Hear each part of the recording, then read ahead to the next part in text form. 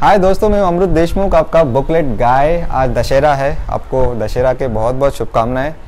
तो इसी सुंदर दिन पे हम कुछ अच्छा सीखने वाले हैं। स्टीफन कॉवे का नाम तो हम सबने सुना है। उन्होंने इतिहास में सबसे बिकी हुई किताब the the biggest best seller book seven habits of highly effective people Stephen Covey ने लिखी थी। uh, लेकिन हम इस किताब के बारे में आज बात नहीं करने वाले। उन्होंने ही लिखी हुई दूसरी किताब फ़र्स्ट थिंग्स फ़र्स्ट हालाँकि ये इस किताब की थर्ड हैबिट का, का नाम था फ़र्स्ट थिंग्स फ़र्स्ट और थर्ड हैबिट पे पूरी एक किताब स्टीफन कॉवे ने लिखी है। इसमें से एक आइडिया मुझे इतनी पसंद आई इसलिए मैंने सोचा कि क्यों ना आपको इस वीडियो के ज़रिए आपको बताया जाए। अक्सर हम अर्जेंट और इंपॉर्टेंट ये दो चीज़ों को सेम मानते हैं। हमको लगता है कि जो काम अर्जेंट है वो इंपॉर्टेंट भी है लेकिन ऐसा नहीं होता। हम अगर कोई काम प्लान नहीं करते या उसको प्रोक्रास्टिनेट करते मतलब आज का काम कल को ढकेल देते हैं तो वो एक दिन अर्जेंट बन जाता है। इसका मतलब ये नहीं कि वो इंपॉर्टेंट होता है। फॉर एग्ज़ाम्पल मुझे इंश्योरेंस प्रीमियम का प्रीमियम भरना है, उसकी ड्यू डेट एक महीने के बाद है, मैं बोलता हूँ, भरूँगा भरूँगा भरूँगा। और अचानक से वो ड्यू डेट आ जाती है और हमको लगता है कि वो अर्जेंट भी है और इंपॉर्टेंट भी हालाँकि एक महीने पहले अगर मैं उसको प्लान करता तो वो कभी भी अर्जेंट नहीं होता। हालाँकि वो इंपॉर्टेंट है। सो so, uh, वैसे कई वोडाफोन के बिल्स रहते हैं uh, कुछ क्राइसिस होते हैं डेडलाइंस होते हैं। तो उन्होंने चार क्वाड्रेंट्स बनाए हैं और आपके टू डू लिस्ट जो है सब काम आप उस चार क्वाड्रेंट में बांट सकते हो। तो मैं यहाँ चार क्वाड्रेंट्स बना रहा हूँ आपके लिए। ओके okay, इसको बोलेंगे हम quadrant one quadrant two quadrant three और क्वाड्रेंट फोर इसको हम नाम देंगे अर्जेंट। इसको बोलेंगे नॉट अर्जेंट। इसको बोलेंगे इंपॉर्टेंट और इसको बोलेंगे नॉट इंपॉर्टेंट। ओके?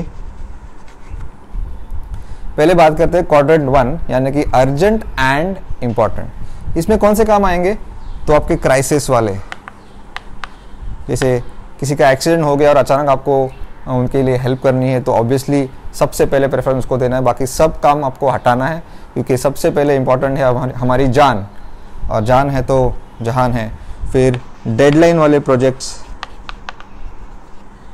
आपको कल प्रोजेक्ट ख़त्म करना है डेडलाइन है किसी का कि, आ, मीटिंग के लिए प्रेजेंटेशन बनाना है। तो ये सब काम इसमें आ जाते हैं जो अर्जेंट भी है और इंपॉर्टेंट भी है। उसके बाद आता है क्वाड्रेंट टू जिसके बारे में मैं बाद में बात करूँगा। एक वजह है कि मैं उसके बारे में अभी नहीं बात करूँगा। सीधा जाते हैं क्वाड्रेंट थ्री में urgent and not important okay इसके बारे में हम काफ़ी डिटेल में बात करेंगे। अर्जेंट भी अर्जेंट है लेकिन इंपॉर्टेंट नहीं है। फ़ोन कॉल्स अभी ये फ़ोन कॉल्स ऑफ़िस के हो सकते हैं पर्सनल हो सकते हैं।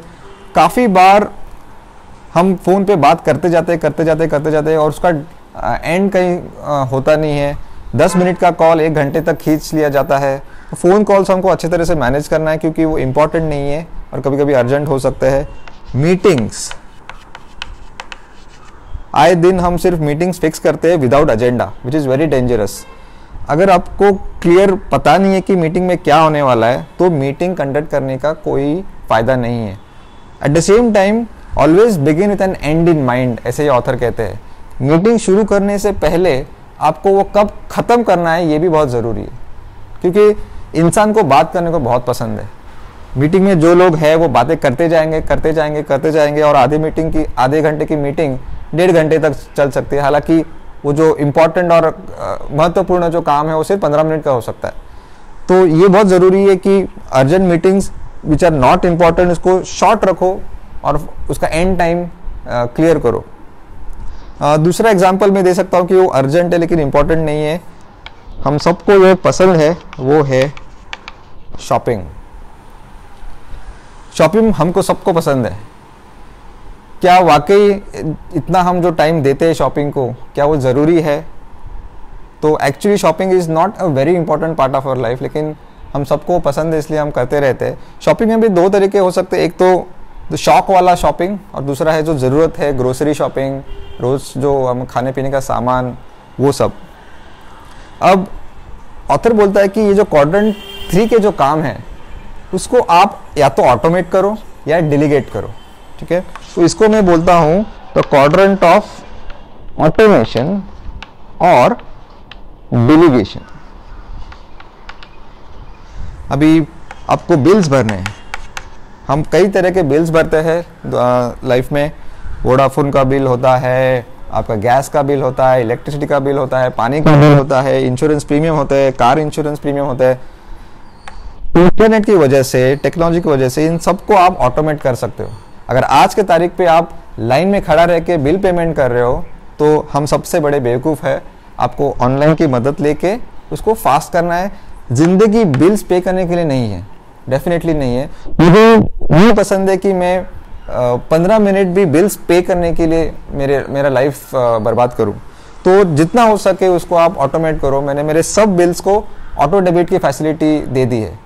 वो जब भी वो बिल आएगा, वो अपने आप मेरे बैंकर को जाएगा और वो अपने आप मेरे अकाउंट में से डेबिट होगा। देखो, पाँच दस रुपए को सेव करने के लिए हम, हमारा एक घंटा वेस्ट नहीं कर सकते। So it it makes lot of sense कि आप इन सबको ऑटोमेट करो। अगर ऑटोमेट कर नहीं चाहते हो तो एटलीस्ट ऑनलाइन पेमेंट करो। लेकिन लाइन में खड़ा रह के फ़िज़िकल बिल पेमेंट करना आज की तारीख में तो मुझे सेंस नहीं लगता। तो इसलिए ऑथर बोल रहा कि इसको ऑटोमेट करो। अगर ऑटोमेट नहीं कर सकते तो डेलीगेट करो। लाइक ग्रोसरी शॉपिंग या फ्रूट्स लेना। अभी आप बोलोगे, मैं तो एक आम इंसान हूँ, मैं तो नौकरी करता हूँ, मेरे हाथ के नीचे तो कोई कोई लोग है नहीं। मैं अकेला मुझे अकेले को सब काम करना पड़ता है। ऐसा नहीं है। अगर आप क्रिएटिवली सोचोगे तो आपके अंडर भी काफ़ी लोग हैं जो आपका, ये जो रोज़ रोज़ का काम है, जो आप एंजॉय नहीं करते। ऑनेस्टली ग्रोसरी में हर बार वही वही साबुन लाना, वही डिटर्जेंट पाउडर लाना मैं एंजॉय नहीं करता हूँ। तो मैं उस पर एक टाइम क्यों वेस्ट करूँ? उसको मैं डिलीट डिलीगेट कर सकता हूँ? तो मैंने इसको क्रिएटिवली कैसे यूज़ किया है? हमारे एरिया में जो ग्रोसरी वाला शॉप वाला है, बहुत ही खड़ूस है। इज़ वेरी रूड और किसी को भी होम डिलीवरी देता नहीं है वो। हमको सबको शॉप में जाके खरीदना पड़ता है। तो मैंने उसके साथ दोस्ती करना शुरू किया। काफ़ी सालों से मैंने पर्सनल टच क्रिएट किया उसके साथ और हमारे एरिया में मैं एक ही इंसान हूँ जिसको वो होम डिलीवरी देता है। और मैं उसको एक्स्ट्रा पचास, सत्तर रुपया प्रीमियम देता हूँ। सो इज़ हैप्पी घर पे होम डिलीवरी देने के लिए। तो ऐसे काफ़ी लोग हमारे इर्द गिर्द होते हैं, हमारा watchman car washer fruit vendor जो आपके सोसाइटी में साफ़ सफ़ाई करने वाले लोग, इनको महीने के पचास सौ रुपये बहुत होता है। और हम जैसे लोगों के लिए ये ज़्यादा मायने नहीं रखते। तो क्यों ना हम एक थोड़ा खर्च, पचास सौ रुपया ज़्यादा खर्चा करके क्यों ये सब जो काम है, जो हमारे करियर या लाइफ क्वाड्रेंट के जो काम नहीं होते उनको हम ऑटोमेट करें, उसको डिलीगेट करें। ठीक है? इन लोगों के लिए पचास रुपया बहुत चीज़ रहती है। तो अगर मैं, मेरे मेरा जो फ्रूट फ्रूट सेलर है, मुझे हर दिन एक फ्रूट खाने को लगता है। तो मैंने उसको बोला है कि भाई, जितने भी अच्छे फ्रूट्स आप मुझे रोज़ डिलीवरी कर, करके करके दो और मैं आपको एक्स्ट्रा पचास रुपया दूँगा। He is happy to do that और वो जो टाइम बचता है, वो टाइम मैं दूसरे क्वाड्रेंट के लिए यूज़ कर सकता हूँ। तो ये इंपॉर्टेंस है क्वाड्रेंट थ्री के, जो काम अर्जेंट है लेकिन इंपॉर्टेंट नहीं है, इसको आप ऑटोमेट करो डिलीगेट करो। क्वाड्रेंट फोर की बात करेंगे, इसको मैं बोलता हूँ क्वाड्रेंट ऑफ़ डेथ सबसे डेंजरस क्वाड्रेंट है, जहाँ पे हम सबसे ज़्यादा टाइम वेस्ट करते हैं। टाइम वेस्टर एक्टिविटीज़ कौन से है? तो फेसबुक व्हाट्सएप गॉसिपिंग से बहुत सारे एक्टिविटीज़ है जो हमें पता ही नहीं कि हम काफ़ी टाइम इस पर बिता रहे हैं। और इट इज़ वेरी डेंजरस और स्टैटिस्टिक्स कहता है कि जो लोग 60 to 80 percent time quadrant four में बिताते हैं, वो ज़्यादातर डिप्रेशन में चले जाते हैं। उनके पर्सनल लाइफ में प्रॉब्लम रहते हैं, उनके करियर में प्रॉब्लम रहते हैं और ultimately they are considered as failures so quadrant four is an